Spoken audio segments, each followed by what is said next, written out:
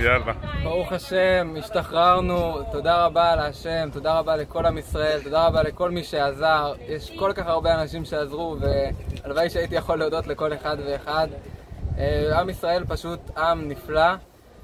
אה, לצערנו השתחררתי מהרחקה לחצי שנה מהבית, אבל זה לא מה שישבור אותנו, זה לא מה שישבור את עם ישראל. עם ישראל חזק, ועם הכוח שהיה לנו והכוח שאנחנו מקבלים, אנחנו נמשיך וניאבק עוד עד שאנחנו נשיג את המטרה, עד שעם ישראל יהיה בארץ ישראל, בעזרת השם, בית מקדש, גאולה שלמה, ותודה לכולם.